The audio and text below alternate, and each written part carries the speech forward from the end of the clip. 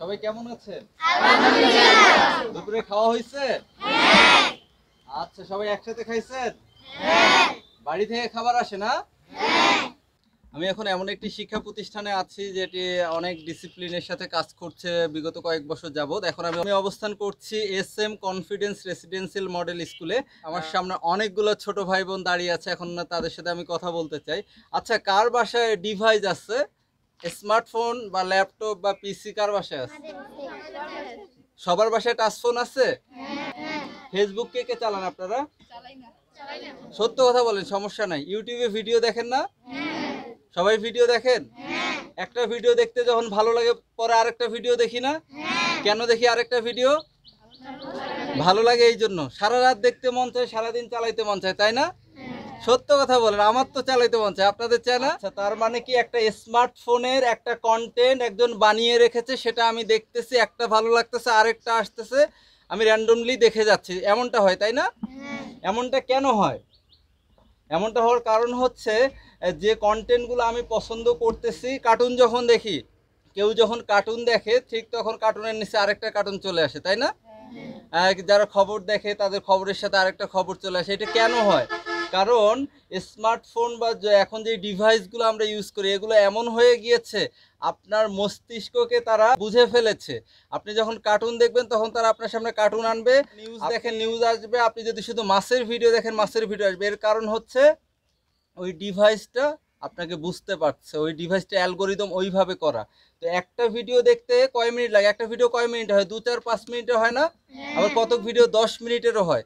এতে করে যেটা হয় একটা ভালো লাগে একটা দেখতে দেখতে দুটা চারটা পাঁচটা দশটা দেখতে অনেক সময় চলে যায় যায় না? আম্মা যে ভাত খাওয়ার জন্য ডাকতেছে মনেই থাকে না। পরে যাব যাচ্ছি আসতেছে এমন হয় না? এমন হয়। তার মানে স্মার্টফোন আপনাদের যদি এমন হয় তাহলে স্মার্টফোন আপনাকে নিয়ন্ত্রণ করতেছে। এটা কি উচিত? একটা জড় বস্তু আমাকে নিয়ন্ত্রণ করবে? প্রাণ আছে? কথা বলতে পারে? ফোন কথা বলে? তো কথা বলতে পারে না প্রাণ নাই কিন্তু এই- ডিভাইসটা আমাকে নিয়ন্ত্রণ করতেছে তাই না? তো এটা কি উচিত আমাদের ক্ষেত্রে বলেন তো? তার মানে স্মার্টফোন আমাকে নিয়ন্ত্রণ করবে না আমি এটাকে নিয়ন্ত্রণ করব তাই না? তাহলে কি করতে হবে আমাদের? আমাদেরকে করতে হবে যেটা সেটা হচ্ছে প্রয়োজনীয় অতিরিক্ত বেশিক্ষণ থাকা যাবে না। আমি আপনারা দেখেন এই ফোনে সব কিছু আছে। আপনি যদি আপনার পড়া লিখেও সার্চ দেন পড়া পেয়ে যাবেন। আজকে নাসায় কি হচ্ছে স্পেস এক্সে কি হচ্ছে বঙ্গবন্ধু স্যাটেলাইটে কি হচ্ছে পদ্মা সেতুতে কি হইল সব কিছুই পাওয়া যায় এখানে। এই জায়গাটা এমন একটা জায়গা আপনি যা চাবেন তাই পাবেন। এই জায়গাটার জন্য আপনাকে কখনো নিয়ন্ত্রণ না করতে পারে। আপনার কথা দেন এই এই এই জিনিসটা আপনাকে নিয়ন্ত্রণ করবে না আপনি এটাকে নিয়ন্ত্রণ করবেন। এমন হবে তো? এটাকে কে নিয়ন্ত্রণ করবে? আর জোরে বলতে হবে এটাকে কে নিয়ন্ত্রণ করবে? আচ্ছা ওরা আমাকে সবাই কথা দিয়েছে এইটাকে ওরা নিয়ন্ত্রণ করবে। এইটাকে আপনারা নিয়ন্ত্রণ করতে গেলে আপনাদেরকে স্বল্প সময় এটা ইউজ করতে হবে। আব্বা আম্মার সাথে রাগারাগি করা যাবে না। মুখ তুই ফোন না দিলে আমি ভাতে খাম্মা এলাকার ভাষায় যেটা কথা ঠিক আছে না? এটা করা যাবে না। যে মানুষটা দাঁড়িয়ে আছে এখন সে মানুষটার কথা বলি। আপনাদের অত্র প্রতিষ্ঠানের পরিচালক আমাদের সকলের প্রিয় মামুনুর রশিদ স্যার। সবাই মামুন স্যার বলে আমরা না স্যার আমাকে আট বছর পড়াইছেন স্যারের ঋণ আমি জীবনও শোধ করতে পারব না। স্যারের উসিলায় আজকে এখানে দাঁড়াই আমি আপনাদের সাথে কথা বলতেছি। উনি আমাকে এভাবে শেখাইছে। আমার একটা ছোট বাটন ফোন ছিল, তাই না স্যার? বাটন ফোন ছিল, ওই ফোনটা আমার আব্বু একটা কোম্পানি থেকে গিফট পাইছিল। তো আমি আম্মাকে বলি যে, ফোনটা তো আলমারিতে আছে, বাইর করে দাও না। নামাজ পড়তে যাব, মসজিদে লাইট দেখাবো, মাগরিবের সময় যাই, ঈশার সময় যাই, যেটা সত্য কথা। তো ফোন কিছুদিন আম্মা দিল, আব্বাও রাগ দেখায়, পরে স্যার জানার পর স্যার আব্বা আমারে বলতেছে ফোনটা ব্যবহার করা যাবে না। স্যার বলতে পারে, স্যার, ফোনটা নিয়ে রাখে দিছিল। তো স্যার, আমার তখন অনেক মন খারাপ হয়েছিল আর স্যারের উপর রাগ হয়েছিল যেটা সত্য কথা, স্যার। কিন্তু আজকে আমার আমার স্মার্টফোন তিনটা। তিনটা বলতে আমার কাজের পারপাসে আমাকে ব্যবহার করতে এত ডিভাইস আমি ডিভাইস রাখতে পারি না। এখানে যত ডিভাইস দেখতেছেন, সব এগুলো আমার। তার কারণ কি? স্যার যদি আমাকে ওই সময় এই শিক্ষাটা না দিতেন তাহলে আমি হয়তো বা আজকে আপনাদের সামনে কথা বলতে পারতাম না একজন সোশ্যাল ওয়ার্কার হিসেবে বাংলাদেশে কাজ করতে পারতাম না। এই মানুষটার কাছে আমি অনেক ঋণী। আর সবচাইতে বড় বিষয় কি জানেন? আপনারা আমার কথা দিচ্ছেন এই ফোনটাকে আপনারা নিয়ন্ত্রণ করবেন। ক্যামেরা থেকে দূর থেকে সব মুখগুলো দেখো আমার ভাই বোনের। আবার আমাকে বলতে হবে এইটাকে কে নিয়ন্ত্রণ করবে? দেখেন, তারা আজকে বলতেছে, আজকে প্রতিটা শিক্ষা প্রতিষ্ঠানে শিক্ষা কার্যক্রমের পাশাপাশি এই বিষয়টা যুক্ত থাকা উচিত, যে আজকে ডিভাইস সবার বাড়িতে অ্যাভেলেবল হয়েছে, এই জায়গাটা নিয়ন্ত্রণে নিয়ে আসা উচিত। এখন আমি কথা বলতে চাই আমাদের অত্র প্রতিষ্ঠানের সম্মানিত পরিচালক মামুনুর রশিদ স্যারের কাছ থেকে। স্যার, আপনার প্রতিষ্ঠানে অসংখ্য শিক্ষার্থী, সব মিলিয়ে আপনার প্রতিষ্ঠানের সার্বিক মূল্যায়ন আপনি কীভাবে করবেন? পরিচালক হিসেবে। আসলে প্রতিষ্ঠান আমার সতেরো, দুই হাজার সতেরো থেকে শুরু। এইমাত্র আমরা এসএসসির তিনটা ব্যাচ পেয়েছি। তারা খুব একটা ভালো সুফল নিয়ে আসছে আমাদের জন্য। প্রতিটা ব্যাচে জিএসসি পেয়েছি আমরা দুইটা, দুইটাতেই খুব ভালো একটা সুফল পেয়েছি। প্রথম ব্যাচেই আমরা একটা স্কলারশিপ পেয়েছি, পরের বছর তিনটা পেয়েছি। আর হয়তো এবারও ভালো কিছু করব আমরা একটা। আর সবচেয়ে যেটা ভালো কথা হলো, অত্র আমবাড়ি এলাকায় আমরা চাচ্ছি যে একটা ভালো প্রতিষ্ঠান হোক। কারণ এই আমবাড়িবাসীর অনেক আশা, আকাঙ্ক্ষা আমবাড়িতে একটা ভালো প্রতিষ্ঠান হোক। কারণ আমবাড়ি থেকে দিনাজপুর অনেক দূরে। অনেক গরিব মেধাবী স্টুডেন্ট আছে যারা ঝরে পড়ে যাচ্ছে। এই গরিব মেধাবীদের পাশে খেয়াল করে এই প্রতিষ্ঠান সামনে এগিয়ে যাক, এটাই আমাদের কাম্য।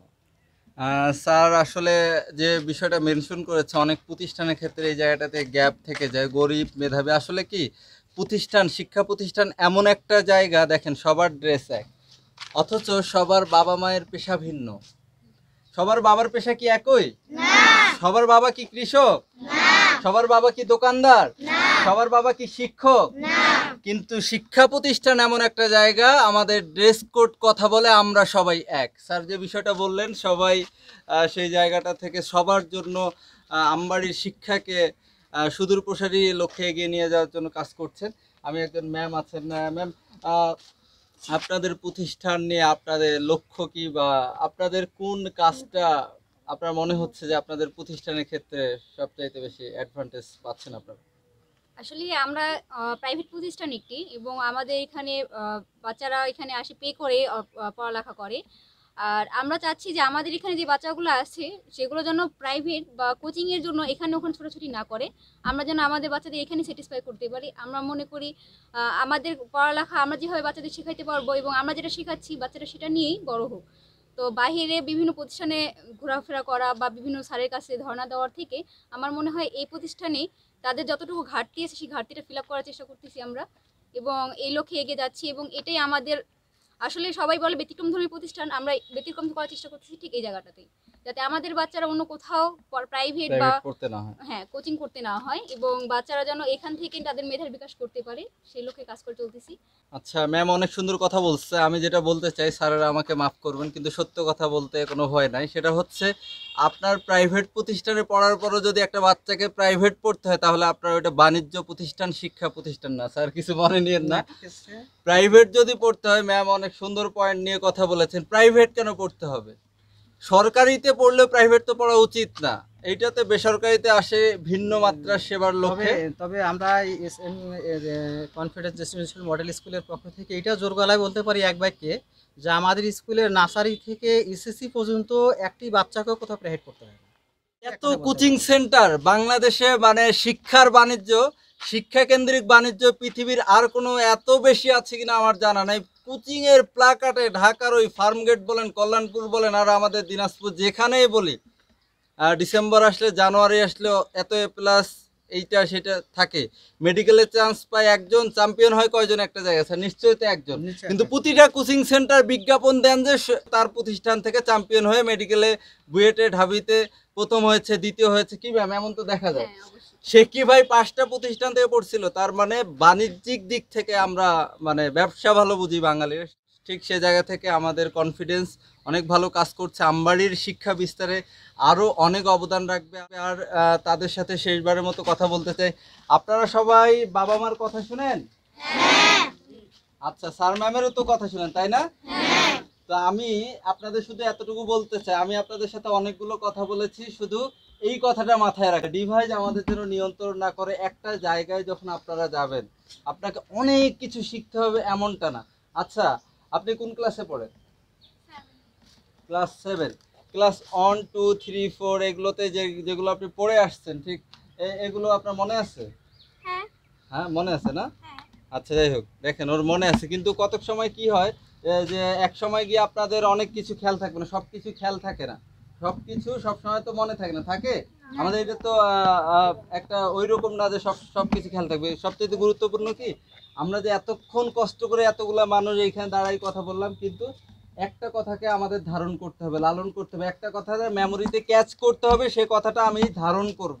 প্রতিটা সেমিনার প্রতিটা ক্লাস আপনারা ঘুরবেন বেশি বেশি করে খেলাধুলা করবেন ফোন যতক্ষণ চালাবেন ততক্ষণ ফুটবল ক্রিকেট কানামাছি গোল্লাছুট যা আছে এই বয়সে খেলে নেন, বড় হলে খেলবা পারবেন না। বুঝা পাইছেন? ঠিক আছে, আমার বাড়ি এখানে, এই জন্য আমি আঞ্চলিক ভাষায় কথা বললাম। নোয়াখালী বরিশালে মানুষ নিজের এলাকার ভাষায় কথা বলে। আমার এলাকার ভাষা কইতে সরম কিসের? বুঝা পাইছেন মোর কথা? অনেকে এগুলো লজ্জা পায়। আঞ্চলিকতায় কখনো লজ্জা নাই। আমি শুধু এতটুকুই বলতে চাই, তোমরা বাংলাদেশের যে প্রান্তে যাও, তোমরা দিনাজপুরের ভাষায় কথা বলবা। আমার ফ্রেন্ড নাহিদ আছে, নাহিদ তুমি এদিকে আসো। ও যশোর থেকে আসছে।